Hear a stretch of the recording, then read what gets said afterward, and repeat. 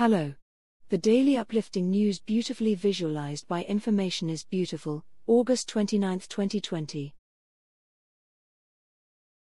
Today's visualization is about the potential of tidal power is amazing. Solar and wind might be easier to harness, but tidal power is hugely dependable and there's lots of it. It's generated around the clock in predictable patterns. That makes it easier to integrate into the grid, bringing green electricity direct to our homes. Thanks for watching. And don't forget to like, comment, and share.